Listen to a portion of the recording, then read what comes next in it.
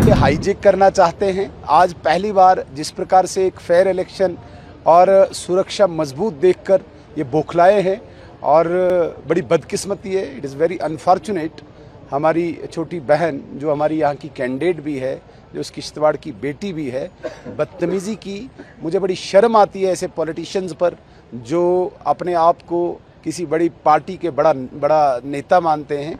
बदकिस्मती है इस प्रकार का व्यवहार अगर उनका है तो मुझे लगता है कि उनको राजनीति में नहीं उनको किसी अन्य दूसरी जगह पे होना चाहिए। It is very unfortunate party के लोगों ने सर बदतमीजी की? पीडीपी के लोगों को जिनका कोई आधार ब- नहीं बचा है यहाँ पे और कुछ पोलिंग बूथ्स को वो अपनी जागीर मानते हैं। यहाँ पे वो पहले भी कई कई बार इन्होंने हाईजेक किया ऐसे पोलिंग बूथ्स को और आज वही प्रैक्टिस से चला रहे थे।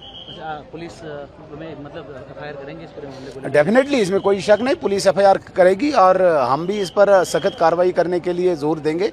ऐसी बात नहीं, किसी कीमत पे भी हमारी बेटी के साथ कोई दुर्व्यवहार करे, उसको बर्दाश्त नहीं किया जाएगा।